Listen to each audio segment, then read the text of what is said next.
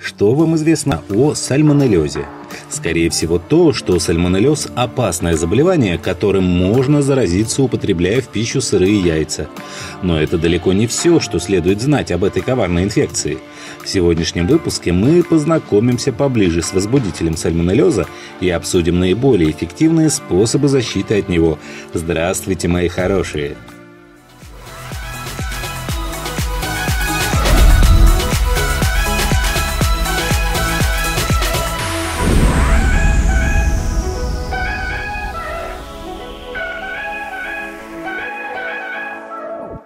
Сальмонеллез – это острая кишечная инфекция, передающаяся человеку преимущественно напрямую от животных – собак, кошек, коров, свиней, диких и домашних птиц, рыб – или через продукты питания животного происхождения – мясо, молоко, яйца, которое характеризуется поражением органов пищеварения с развитием интоксикации и водно-электролитных нарушений – Возбудитель сальмонеллеза – грамм-отрицательная палочка размером порядка 3 микрометров длиной и 0,8 микрометров в ширину, относящийся к семейству энтеробактерий. Свое название она получила в честь американского ветеринара Сельмана, который выделил сальмонелл из говядины и селезенки погибшего человека во время вспышки чумы свиней в 1888 году. Отличительной особенностью сальмонелл является довольно высокая устойчивость к воздействию воздействию факторов внешней среды. В открытых водоемах они способны сохраняться порядка пяти месяцев, в испражнениях животных до трех лет, в почве до полутора лет, в молоке около трех недель, на яичной скорлупе от 17 до 24 дней, в яйцах водоплавающей птицы до года. В молочных и мясных пищевых продуктах бактерии не только длительно сохраняются, но и размножаются, что нисколько не изменяет внешний вид и вкус пищи. При длительном свыше месяца хранении куриных яиц в холодильнике сальмонеллы могут проникнуть внутрь яиц через неповрежденную скорлупу и размножаться в желтке. Данные бактерии спокойно переживают как низкие, так и высокие температуры. В мясе при нуле градусов по Цельсию они выживают около 140 дней, а в горячей воде при 70 градусах по Цельсию погибают только через 10 минут. Большинство штаммов сальмонелл устойчивы к антибиотикам. Ни соление, ни консервация не убивает эти бактерии. Единственная их слабость – восприимчивость к дезинфицирующим растворам – хлорной извести, хлорамину и так далее. Заражение сальмонеллами, как правило, происходит после контакта с инфицированными животными или в результате употребления пищи, зараженной бактериями. Прежде всего это мясо животных, птиц, рыба, готовые блюда, не подвергающиеся термической обработке во время приготовления, мясные и овощные салаты, фрукты, кондитерские изделия, молоко и даже вода – в последнее время резко участились случаи сальмонеллеза, вызванные употреблением куриных яиц, что обусловлено увеличением объемов производства куриной продукции и неудовлетворительными условиями содержания птицы. Также не исключено инфицирование сальмонеллами воздушно-капельным путем и через загрязненные бактериями предметы повседневного обихода.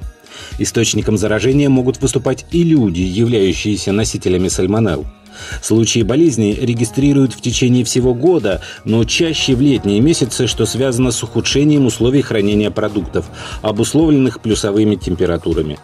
Сальмонеллезом может заболеть любой человек вне зависимости от возраста и пола, но наиболее подвержены ему маленькие дети и лиц со сниженным иммунитетом. Однако стоит отметить, что далеко не каждый раз при попадании бактерий внутрь организма происходит заражение. Так как сальмонеллы достаточно чувствительны к кислой среде, желудочный сок, содержащий соляную кислоту и пищеварительные ферменты, может убить значительное количество бактерий. Это естественная защита нашего организма от проникающих через полость рта микроорганизмов и бактерий. На этой стадии инфекционный процесс может закончиться. Если же желудочный барьер был пройден, то бактерии попадают в просвет тонкой кишки, где захватываются клетками эпителия и внедряются в слизистую оболочку.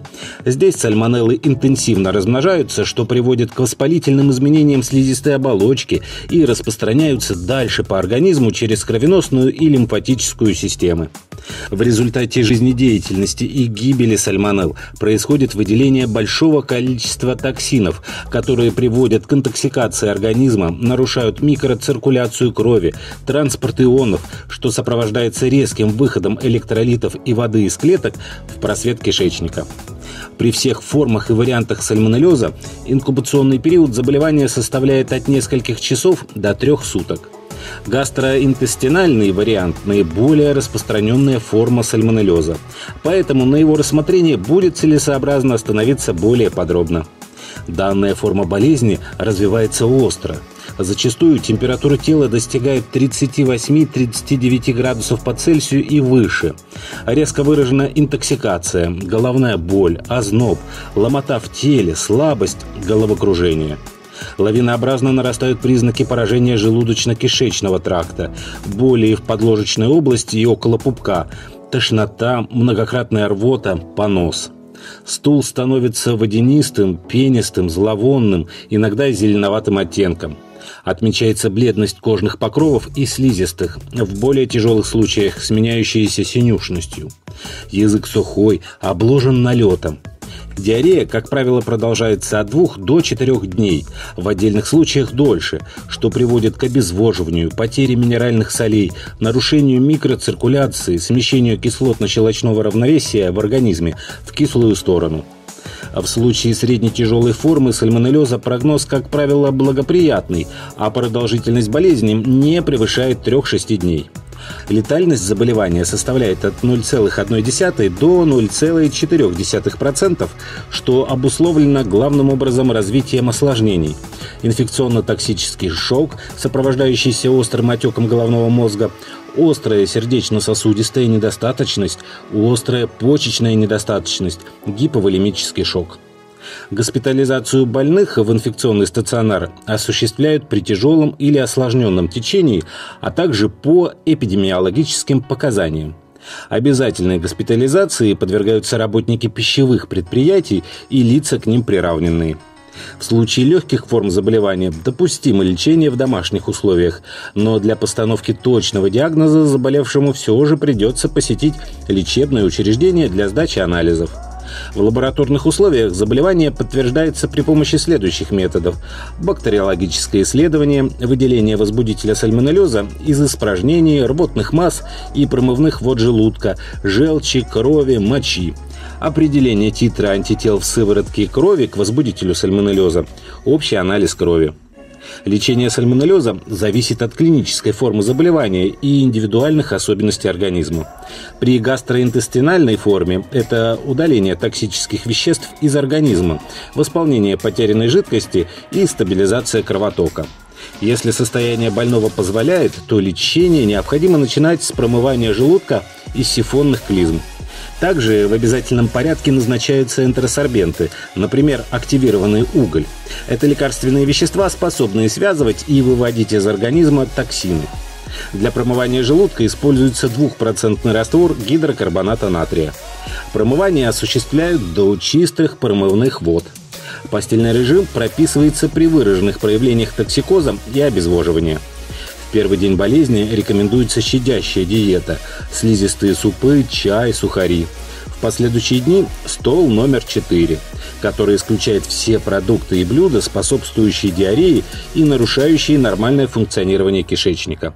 Под запрет попадают ржаной хлеб и горячие хлебобулочные изделия, кофе с молоком, компоты, сладкие газированные напитки и алкоголь, супы на жирных мясных и рыбных бульонах, молочные и сырные супы, ячневая, перловая, кукурузная и пшенная крупы, все бобовые, жирные сорта мяса и птицы, жареные целым куском – продукты мясной переработки в виде колбас и полуфабрикатов, рыба жирных сортов, яйца, жареные на жиру или сале, сваренные вкрутую или употребляемые в сыром виде, различные заправки, специи соусы, шоколад, мороженое, конфеты, варенье, свежие овощи, фрукты и ягоды.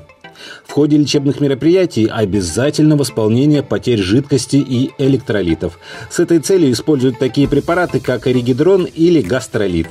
При отсутствии таковых можно восполнить потерю жидкости сахарно-солевым раствором, для чего в одном литре кипяченой воды растворяют 2 чайные ложки поваренной соли и 8 чайных ложек сахара. Общий объем выпитого сахарно-солевого раствора должен соответствовать количеству воды, потерянной во время рвоты и диареи. Антибиотики при сальмонеллезе легких форм используются редко. Это связано с тем, что сальмонеллы имеют высокую устойчивость к большинству антибактериальных препаратов. Тем не менее, при тяжелом сальмонеллезе существуют показания, при которых лечение может включать антибиотики, но только по назначению и под пристальным контролем лечащего врача. После перенесенного сальмонеллеза остается типоспецифический иммунитет, который сохраняется в течение 5-7 месяцев.